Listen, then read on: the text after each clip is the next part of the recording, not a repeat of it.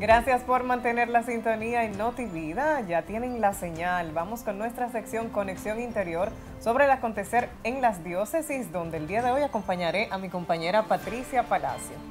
A ver, Patricia.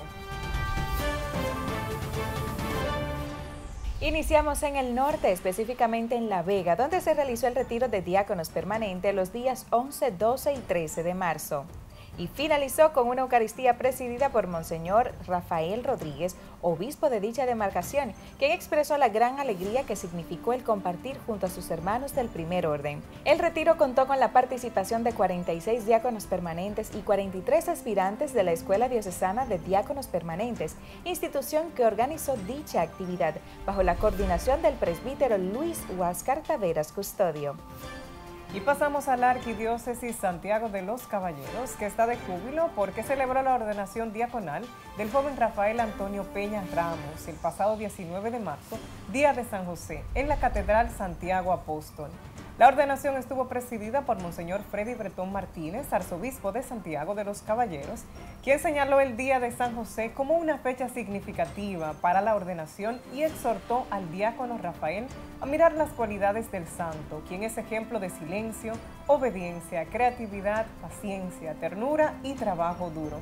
Asimismo, el prelado, al reflexionar sobre el Evangelio, reconoció la gran misericordia de Dios al incorporarnos a la obra maravillosa de construir y consolidar su reino en este mundo, a pesar de nuestra fragilidad humana, precisó. La Eucaristía fue concelebrada por Monseñor Carlos Tomás Morel Diplán, obispo auxiliar de Santiago, Monseñor Valentín Reynoso Hidalgo, obispo auxiliar emérito, y los presbíteros José Apolinar Castillo, rector del Seminario Pontificio Santo Tomás de Aquino, y Nelson Paulino, párroco de San Bartolomé de Gurabo, en Santiago. Finalmente, el recién ordenado expresó su agradecimiento a Dios, la Virgen, su familia, obispos, sacerdotes y seminaristas, quienes le han acompañado y orientado durante su proceso de formación. Al tiempo, Monseñor Tomás Morel Diplán informó que el diácono Rafael estará colaborando en la parroquia San Francisco de Asís del Ensanche Libertad en Santiago de los Caballeros. Enhorabuena, muchas felicidades para Rafael y para la Arquidiócesis de Santiago. Y en otra información desde el Vaticano, el Papa Francisco pidió este domingo 20 de marzo a todos los fieles unirse a la próxima consagración al Inmaculado Corazón de María por la paz en el mundo.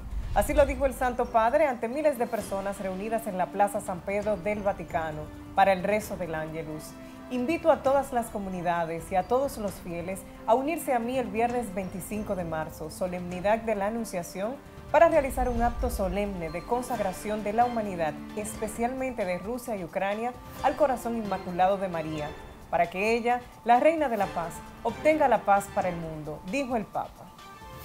El Santo Padre consagrará Rusia y Ucrania al Inmaculado Corazón de María el viernes 25 de marzo durante la celebración penitencial 24 horas para el Señor, que se llevará a cabo en la Basílica de San Pedro. Un comunicado del Vaticano indicó el 15 de marzo que el mismo acto, el mismo día, será realizado en el Santuario de la Virgen de Fátima en Portugal por su eminencia el cardenal Konrad Krejewski limosnero pontificio, como enviado del Santo Padre. Además, la oficina de prensa de la Santa Sede informó el 18 de marzo que el Papa Francisco invitó a los obispos de todo el mundo y a los sacerdotes a unirse en la oración por la paz y en la consagración de Rusia y Ucrania al Inmaculado Corazón de María. Y en otra información, tras más de ocho años de trabajo de la gran reforma a la curia vaticana y el gobierno de la Iglesia, implementada por su santidad el Papa Francisco, vio la luz con la promulgación y publicación de la Constitución Praedicate Evangelium, que en español sería Prediquen el Evangelio, en la que se da una dirección más misionera y se abre la puerta a una mayor presencia de laicos y mujeres en la administración de la Iglesia. La nueva constitución de 52 páginas, que cambia totalmente el organigrama de la curia romana, entrará en vigor el 5 de junio, fecha en la que sustituirá a la Pastor Bonus, promulgada por Juan Pablo II en el año 1988.